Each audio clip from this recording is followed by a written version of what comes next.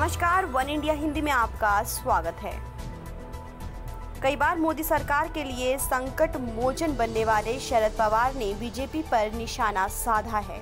शरद पवार के मुताबिक मतदाताओं को हल्के में नहीं लेना चाहिए, क्योंकि इंदिरा गांधी और अटल बिहारी वाजपेयी जैसे दिग्गज नेता भी चुनाव हार चुके हैं। बीजेपी पर निशाना साधते हुए एनसीपी अध्यक्ष ने कहा कि नेताओं को मतदाताओं का महत्व न समझने की भूल नहीं करनी चाहिए, क्योंकि इंदिरा गांधी और अटल बिहारी वाजपेयी जैसे शक्तिशाली नेताओं को भी चुनाव में हार का सामना करना पड़ा था।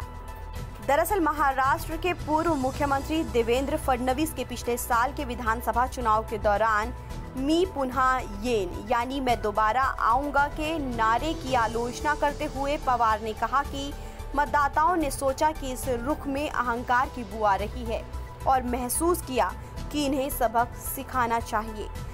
पूर्व केंद्रीय मंत्री ने शिवसेना नेता और पार्टी के मुखपत्र सामना के कार्यकारी संपादक की तरफ़ से लिए गए एक इंटरव्यू में ये बातें कही हैं। आपको बता दें, पवार के मुताबिक महाराष्ट्र में सरकार का बदलना कोई हादसा नहीं है।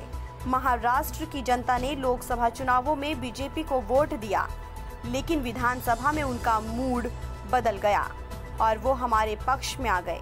पवार के मुताबिक कई राज्यों के विधानसभा चुनावों में बीजेपी का प्रदर्शन काफ़ी खराब रहा है। वहीं इसके अलावा लॉकडाउन पर सीएम उद्धव ठाकरे से मतभेद के सवाल पर उन्होंने कहा कि ऐसा कुछ भी नहीं है। पूरे लॉकडाउन के दौरान वो सीएम के संपर्क में रहे और अभी भी उनकी अच्छी बातचीत होती है। इस खबर में फ़िलहाल इतना ही। तमाम अपडेट्स के लिए आप बने रहिए वन इंडिया हिंदी के साथ।